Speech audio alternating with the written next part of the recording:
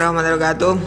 Sobat Esmol di mana pun berada Semangat selalu, sehat selalu, menginspirasi selalu, berbagi selalu.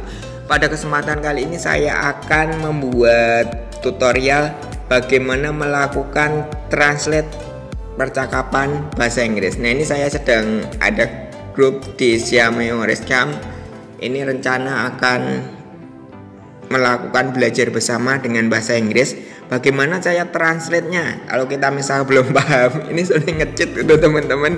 Bagaimana cara translate bahasa Inggris? Itu pertama tentu kita harus ada Google Translate-nya di sini. Nanti dengan sekali ketuk bisa tertranslate sehingga kita bisa membalas dengan bahasa Inggris. Oke kita harus install dulu Google Translate. Yang belum menginstal silahkan teman-teman install dulu Google Translate-nya nah setelah itu masuk ke translate kita setting dulu. Bagian pojok atas itu ada titik garis tiga kita klik masuk ke setting. Nah di paling atas ada tulisan tab to translate. Nah nanti berarti sekali tab kita bisa mentranslate dari bahasa apa pun yang tersedia di sini menjadi bahasa yang kita inginkan. Khususnya kalau pengen bahasa Indonesia kita pahami dulu baru kita membalasnya dengan bahasa Inggris ataupun dengan bahasa kita.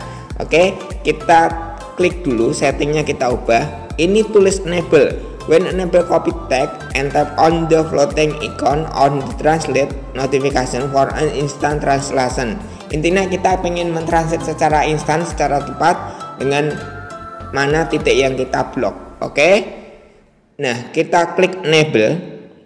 Setelah itu setelah enable nanti udah kita enable dan nanti ada muncul juga di teman-teman biasanya yang belum setting itu ada apa perizinan untuk mengambil data load device from device gitu nih. Ini ada karena saya udah menginstal awal tadi udah saya coba kayak gitu tab to translate-nya udah aktif, pastikan ini ikuti terus on kan semua. Oke. Setelah itu kita cobakan. Misalkan ini di percakapan di grup saya. Ini grup belajar bahasa Inggris bersama untuk persiapan mengikuti kegiatan Xiaomi. Misalkan sini it's okay we will learning together if we will meet next time. Itu artinya apa kita pengen artikan. Ini kita copy dulu. Tahan klik tanda copy. Nah, muncul ini muncul logo Google Translate itu kita tap klik nah di situ udah muncul translatannya nah tidak apa-apa kami akan belajar bersama jika kami bertemu nanti kali. Ini terus cara balas dengan bahasa Inggris akan saya buatkan di tutorial berikutnya.